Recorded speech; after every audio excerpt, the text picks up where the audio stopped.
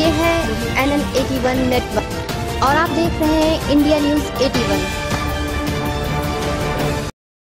Hi, this is Niharika Srivastava and you are watching Indian News 81 English. Would select to stream 15 stories featuring Vidya Balan, Neena Gupta among others on the big OTT film festival. So here's the report.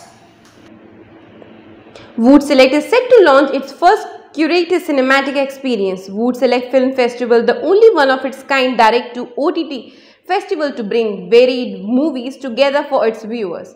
Honoring the most diverse filmmaking voices of the country, the festival will stream more than 15 critically acclaimed movies across genres over 8 days.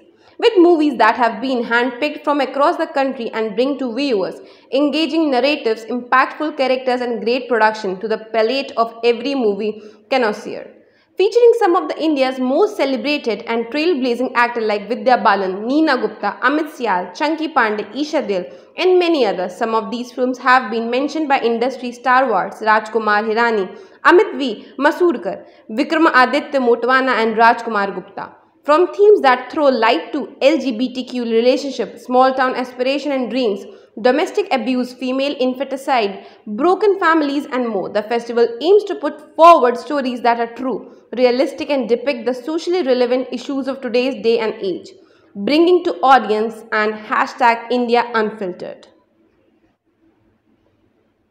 Latest खबरों के लिए यूं ही देखते रहिए India news 81 और इस video के पसंद आने पर लाइक शेयर एंड सब्सक्राइब करना ना भूलें।